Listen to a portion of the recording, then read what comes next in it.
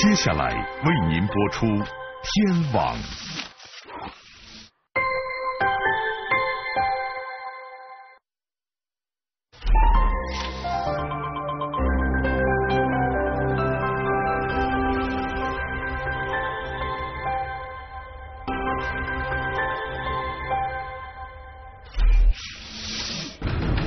已是穷途末路，却不甘心服服。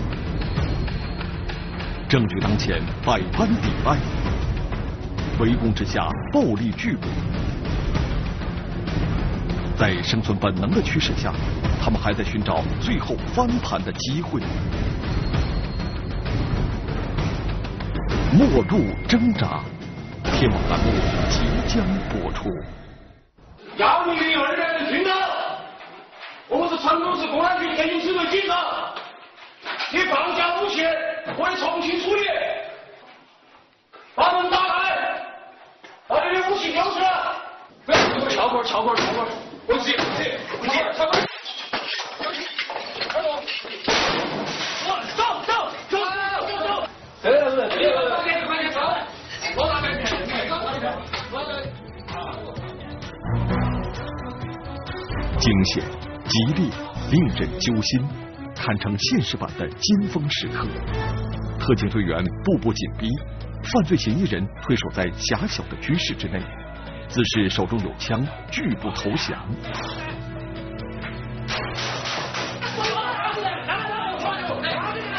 这是发生在二零一三年夏天，轰动全国的成都枪战。不少成都居民真切地感受到了执法人员的果敢勇猛，同时也亲眼见证了不法分子的狡诈和疯狂。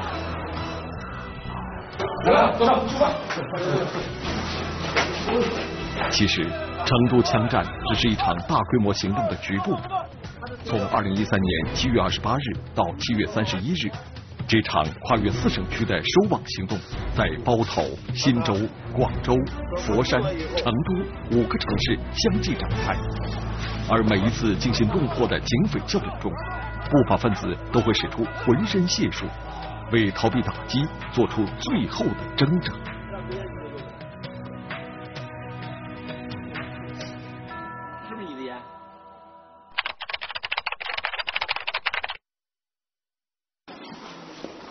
来，我讲个。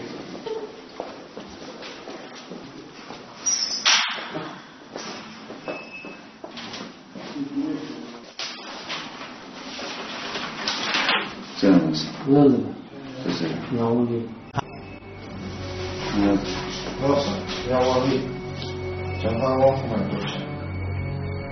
经吸毒人员反复辨认，这个名叫苗文丽的中年男子，就是一直向他们提供毒品的大人物。四十二岁的苗文丽是包头市东河区人，他曾经因贩毒被判处有期徒刑三年。按他的刑期看，因为应该他也属于贩拎包的，那说明他的毒品的数量跟他的贩卖的次数就不算太多。在二零一三年四月的扫毒行动中，侦查员得知，出狱后的苗文丽依旧恶习不改，继续吸毒贩毒，而且身边还多了一个女帮手，她的名字叫马慧霞。用咱们的信息网一一比对以后，她也是一个吸毒人员，也因为贩毒也被判过刑。马慧霞也自个儿在青山租的套房，这个苗子经常也来他那儿过夜，有时候回来货以后，第一站就先去他那儿，完了把东西该怎么分怎么分。就这样，苗文丽和情人马慧霞联手作案，不断发展下线，做成了包头地区最大的毒品批发商，源源不断的向吸毒人员提供冰毒、海洛因等各种毒品。那么，苗文丽的毒品又是从哪里来的呢？根据警方掌握的情况，苗文丽的海洛因来自山西忻州的郝俊武，冰毒来自四川成都的毒贩廖泽林，而廖泽林的冰毒又来自当地的四哥和广东广州的张礼兵。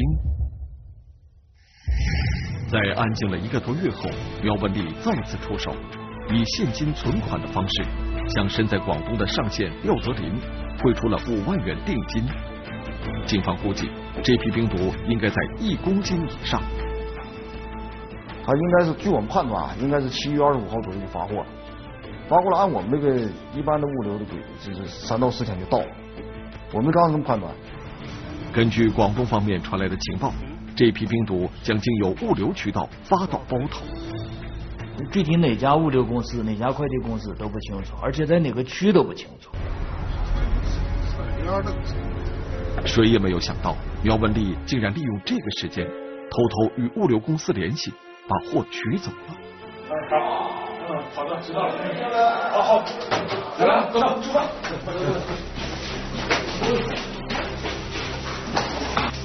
我们确实是非常着急，因为这个经营这么长时间，如果一旦失手，那我们真的前功尽弃，对自己都没法交代，真是这样。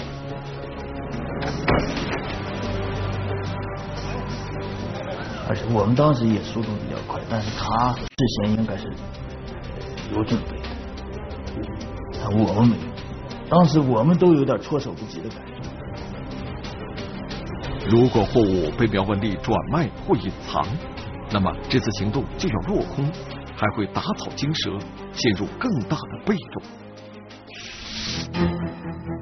嫌疑人剑走偏锋，悄然出手，抓捕行动箭在弦上，不得不发。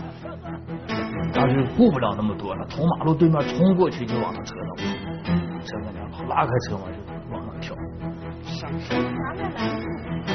持续多年的地下作业突然间大白于天下。当事人情何以堪？我在打他的时候要脸，虽然就是儿子不下在算了，咱们在打是女的，总得有点自尊心，不可能。末路挣扎，天网栏目正在播出。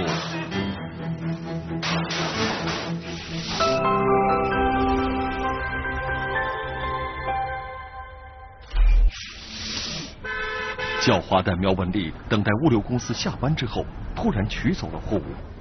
这一情况让抓捕小组顿时感到措手不及。这叫啥？箭在弦上，不得不发了。就是，就是我们最坏的打算，也是要抓住他以后，即便他是货出手，我们要抓住他以后，要把他这个货在哪儿搞清楚。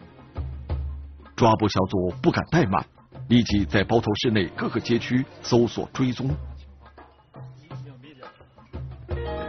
一个小时后，终于在昆都仑区的一个饭馆门前发现了苗文丽当天驾驶的白色丰田车。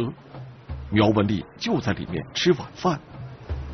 我们认为他最好上了车以后，因为他的货在车上啊，人赃并获是一个最佳的时机。因为这些人呀，这个我告诉你就是反侦查性特别强，就是你可能这个东西放在他面前，他都不认不承认。半个小时后，苗文丽吃过饭。领着一位中年妇女准备驾车离开，从马路对面冲过去就往他车上跑，车上拉开车门，跳上去了直接反正。上车。下来了，你又不是在车上说别动，别动嘴啊！别说话，不要说话。看这，看，看，报你的名字，苗文丽。从被民警控制那一刻起，苗文丽就面无表情。做这个行当可能也也有这种提前的心理准备吧，反正抓住以后是一一声不吭，也也不说话，就是挺木然的这种状态。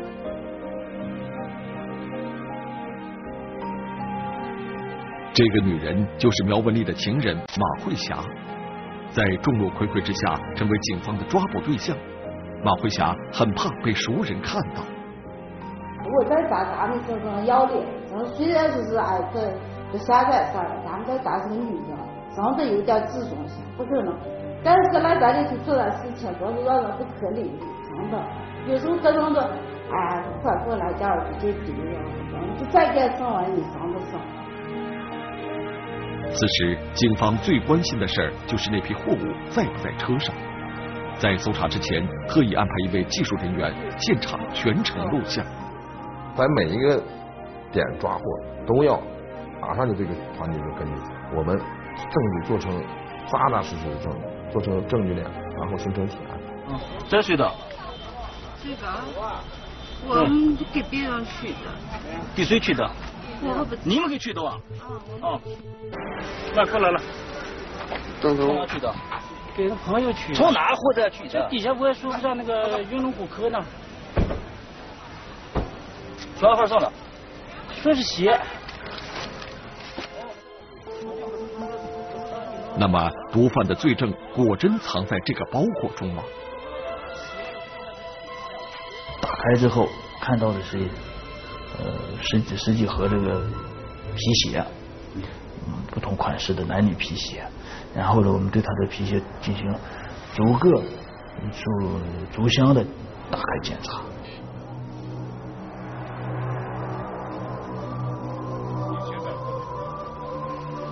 可是，在鞋窝中并没有发现任何夹带的毒品，难道情报有误？第一层没发现，打开第二层以后，直接从那个鞋里面掏出几个这个袋子。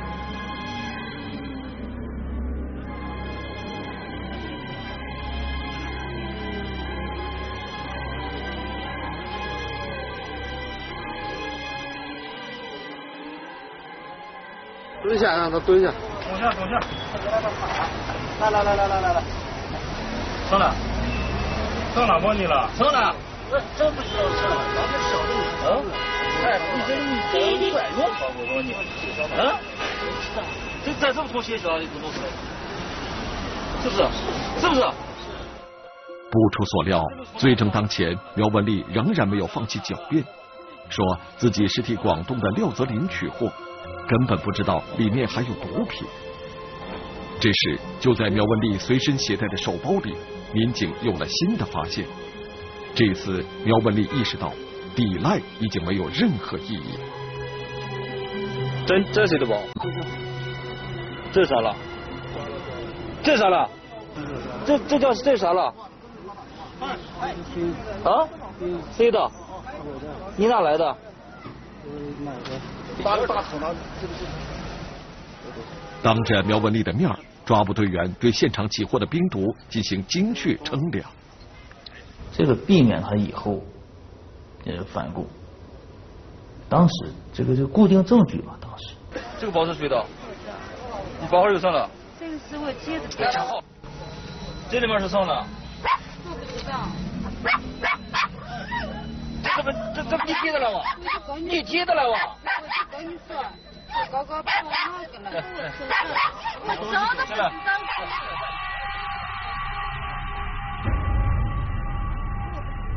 因为我们家可能现在就是说，一旦就是马路上，不管哪任何地方就这样。当时呢，要一天那么多我咱脑袋是保不住的。当时真的我就这样想的，咱脑袋保不住了，就。随后，专案组连夜赶到苗文丽、马慧霞在本市的几处住所，找到了他们精心隐藏的大量毒资和毒品。有了这些证据为基础，司法机关就可以将苗文丽的上线绳之以法了。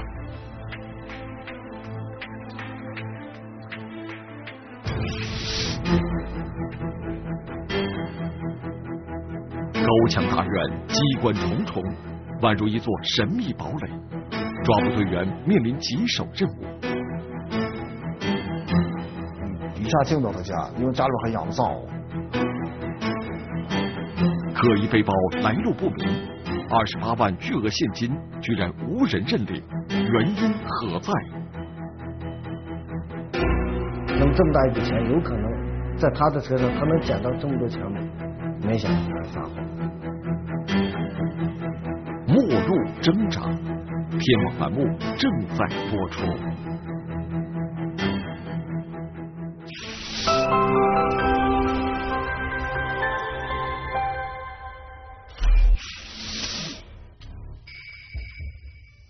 收网行动在山东忻州的目标是一个名叫郝俊武的男子。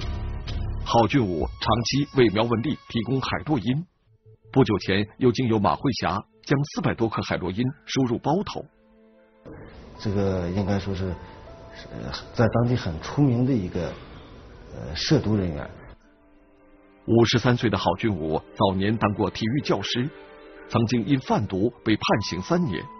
但在出狱后仍然重操旧业，而且越做越大了。为了逃避公安部门的打击，郝俊武还把自己的住所改造成了一座防备森严的堡垒。呃，院子有三进院，院墙四米五到五米高，而且院墙上架设这个铁丝网。从这个一进村开始，就有这个高清探头连着他的家，而且在他院墙周围一圈有十二个高清探头。一下进不了他家，因为家里边还养藏獒，容易这个开始犯罪嫌疑人逃脱。就在抓捕小组为怎样突破堡垒大伤脑筋的时候，情报人员透露，郝俊武突然驾车离开了他的老巢。郝俊武要带他这个情妇要去这个山西太原，因为怀孕嘛去检查。这样的话，我们正好这个卡住这个司机，正好他出来了。这是代县通向太原的高速入口，山西抓捕小组赶在郝俊武的前面，迅速集结到这里。等他进来以后，最后咱们大车必须得随时必须得跟进，啊，不查验一下啊，不值得上了膛。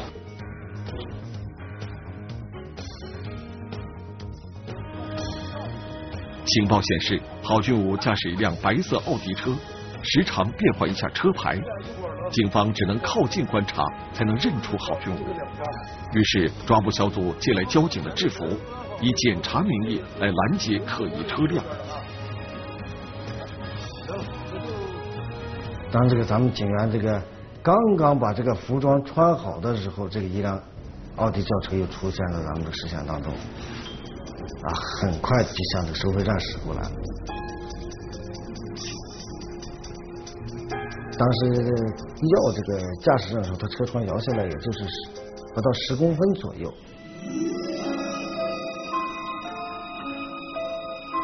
他有所意识了。他这个车呢，迅速他没有熄火，他迅速挂了倒档绩效，就要退出这高速通道。他一退，我们的车后边这辆车已经就顶到了他车后边。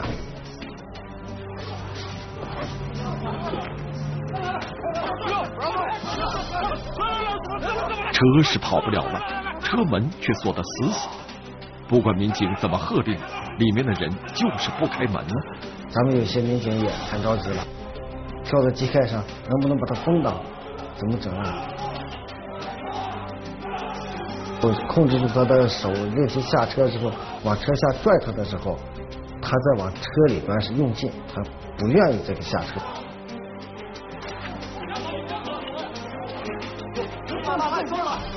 你叫什么名字？大点声，大点声。郝俊武，郝郝俊武，你还有什么名字？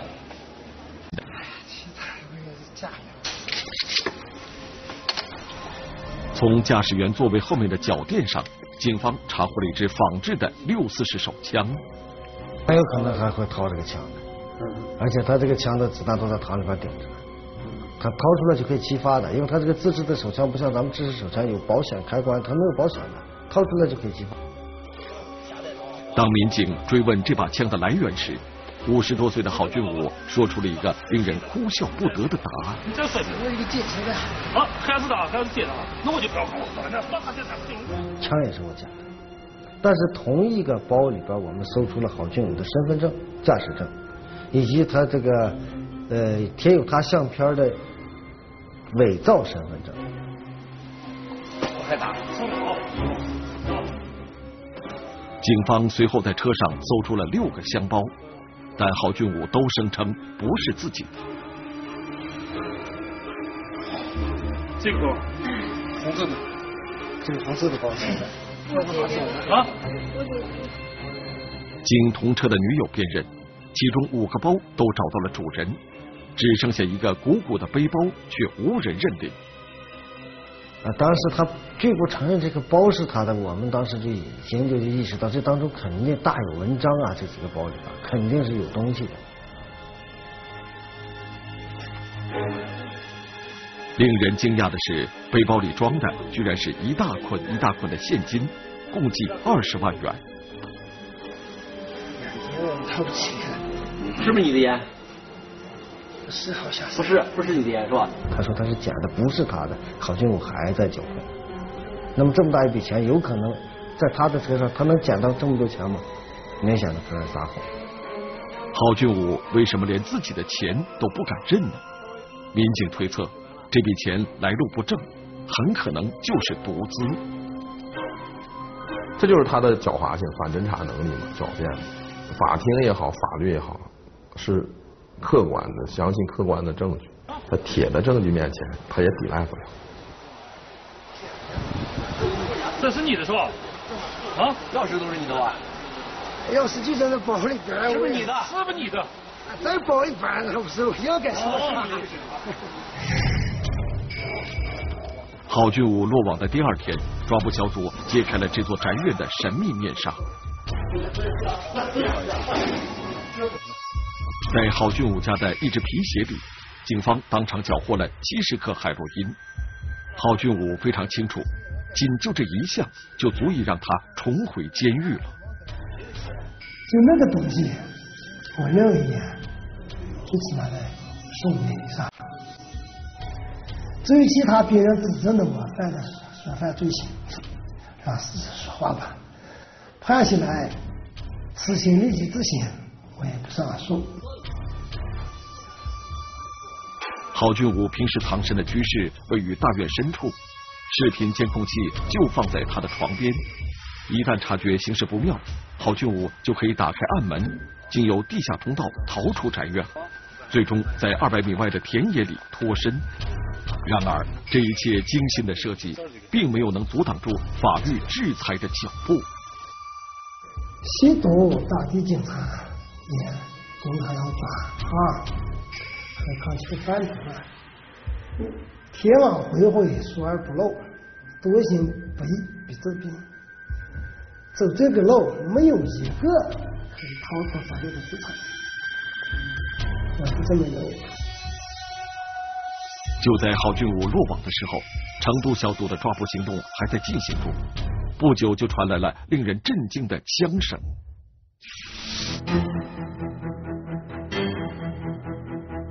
一场精心策划的伏击战，不料却被一个女人的诡计所惊扰。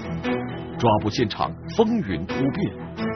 当时累了，极力的反抗，当时在楼里头大声的喊：“警察，警察！”你放下武器，回重庆处理。特警战士火线出击，步步为营，持枪毒贩陷入穷途末路，枪战仍在继续。也有可能他幕后还有更深层次的这个不愿不愿让我们掌握的东西。末路挣扎，天网栏目正在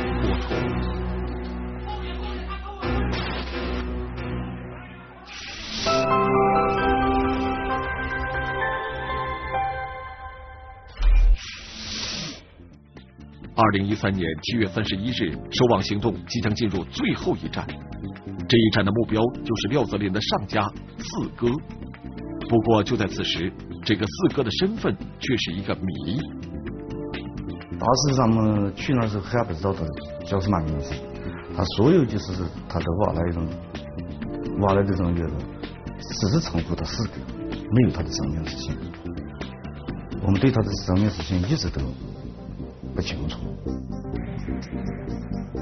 整整一个月，寻找四哥的行动一直在悄悄的进行着，范围一步步缩小。当行动进行到七月末时，专案组将目标集中在了成都东部一个住宅小区二十四城。这是一个庞大的新建居民区，这些高层居民楼里聚集着上万户居民。到底谁才是那个四哥？几天观察下来。一辆昼伏夜出的轿车引起了警方的注意。大概活动的时间是是什么时候？嗯，这个问题是基本上是在下半夜嘛。哎，反正一晚上的话，肯定要出去进出是两三次、三四次嘛。这辆车的车主是谁？他为什么会有如此反常的举动？民警循线追踪，有了更加不同寻常的发现。这是七月二十七日。大楼监控摄像头在凌晨三点多记录下的一段画面。活动的这个规律就是昼伏夜出，然后晚上戴墨镜。你比如说，走着走着突然回头了，他有有一套这个他的那个反侦查的一一些手段和这一措施。这就是那个神秘的大毒贩四哥，几个月前才搬到这里。这个十七楼的呃四单元的十楼呢，就是这个四哥的租住处，他的跟他的一个情妇姓雷的一个女的，他们在一起在那住的。七月三十一日上午十点，同住的女友出门，只留四哥一人还在家中时。缉毒民警悄然进入了这栋居民楼。这栋大楼的十层共有六户人家，楼上的民警们兵分两路，埋伏在两个楼梯出口，等候着抓捕的最佳时机。我们当时跟物业管理处联系了一下，总部就是以这个下水堵塞或者是呃楼下漏水的这个方式了，我们想敲开和他们。可是就在这时。四哥的马仔出现了，事不宜迟，民警果断决定在楼道里密捕了马仔。但民警发现了一个令人担心的事：他在绕这个马仔上楼的时候呢，他跟马仔的两人的手机呢都在一个通话的状态，在通话状态，但是他们都不说话的，只是在手里拿着。就在警方准备实施下一套方案时，另一个意外情况又出现了。刚刚外出的女友突然急匆匆的返回来了，他一边打着电话，一边匆匆上了电梯。呃，他当时是上的，他坐电梯应该到呃这个四个了，在十楼住的，但是这个情妇呢，她坐电梯的坐到九楼。显然，这名女子也察觉到了周围的异常，在跨出电梯的同时，她还小心翼翼的脱掉了脚上的高跟鞋。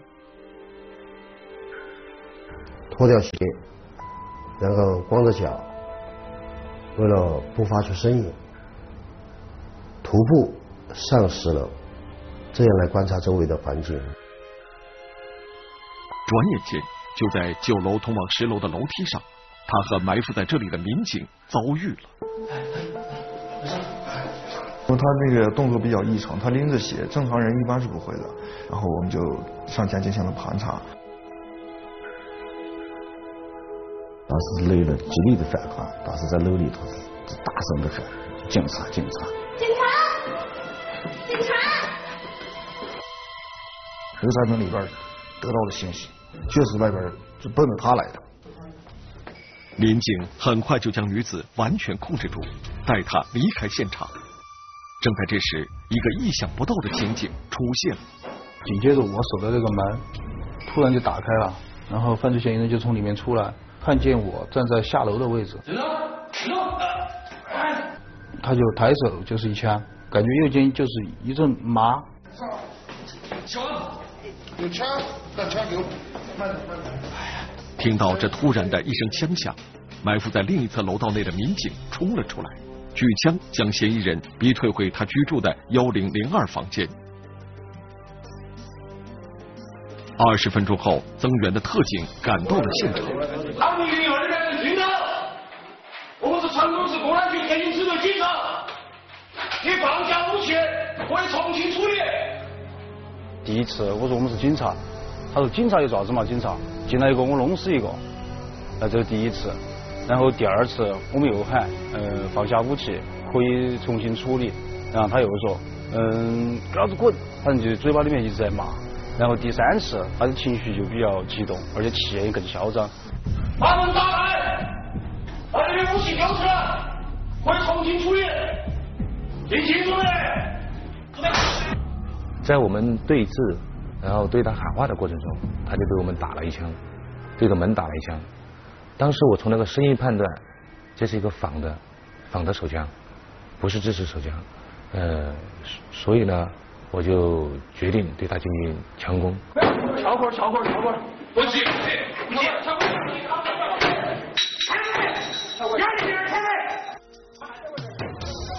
嫌疑人的种种反常的反应，让特警强烈的意识到，这不是一个正常的对手，他们必须加倍小心。长期吸毒的人的一种表现，就是他的精力、他的身体机能高度的集中了。上去，好，这个，哎，这这车子缓起好，随时缓起，听到没有？出去前面前面怎么讲？不吵不吵。出去出去，来来拉倒，拉倒放在，放在放在放在，来小红帽。出去，二楼。我走走走走走。这个这个这个关键高，多大关键？太高了，多大？放过放过放过放过，快点放过放过点，过来过来，枪支准备好啊，枪支。冲来拉开，拉开，走起走起，可以啊。特警队员攻入房间后，迅速展开搜索。客厅、厨房、卫生间、客卧都空无一人，只有主卧室大门紧闭。快点，准备快点！不接不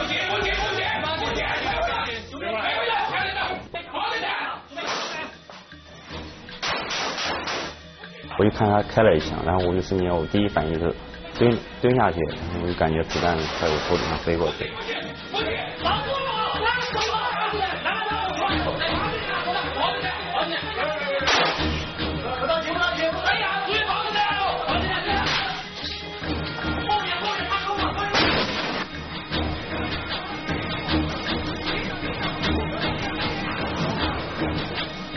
看到特警们攻入房门，刚刚还藏在窗台角落里射击的嫌疑人，从十楼跳下畏罪自杀。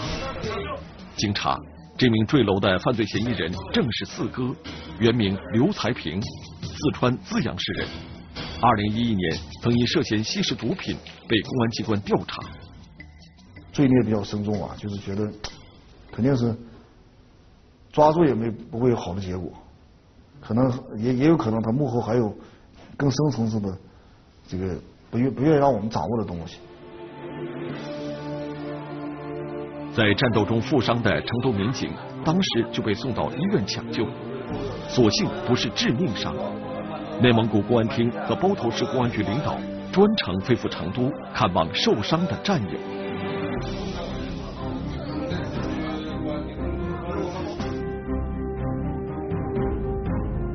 在几个月的时间里，包头警方打掉了一个跨越四省的贩毒网络和一批大毒枭，有力的震慑了犯罪，净化了社会环境。另外，我们觉得值值得值得搞，确实值得搞。搞完以后，大家都很难忘，很回味。有的时候，它不仅是需要你那个，仅是辛苦就行了。需要你有一种勇气，还需要你有在那个跟犯罪、毒品犯罪做斗争的智慧。真的，我们在一起并肩作战的时候，感觉到爽。